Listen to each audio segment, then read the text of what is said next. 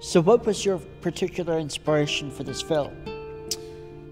I was looking for a subject to write, and um, I I started getting into um, the Bible documentary. There's a, actually a TV show called The Bible, and from there I went into like Book of Revelation, and it was interesting that um, they compare some signs that what happened to the world and what's going to happen to the world if humankind not going to change. And the subject was very interesting, and I started like um, you know thinking about that and thinking about that, and the inspiration of that um, revelations. It's um,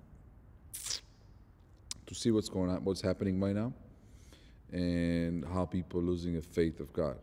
Was it particularly difficult to find the actors who could pull off the characters that fit your vision of this film? You know, after they get the crew and the cameraman, the, the, the, they're all great, but the people who's going to deliver those lines are actors. In the end of the day, actors going to make that film.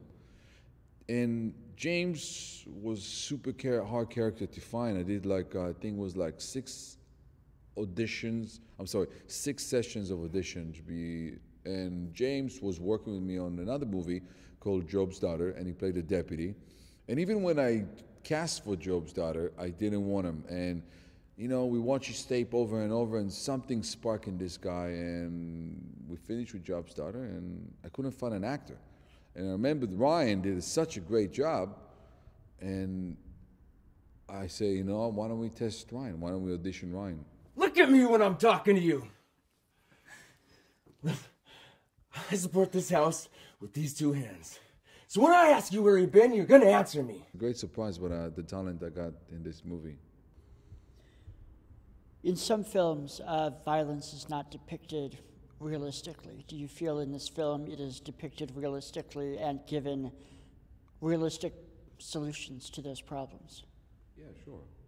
I mean, I made it as a film that I choose I choose a very harsh moment, which they're real, and I did some um, research about those situations.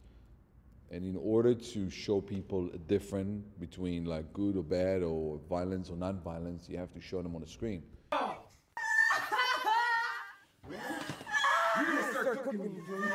Whether you like it or not.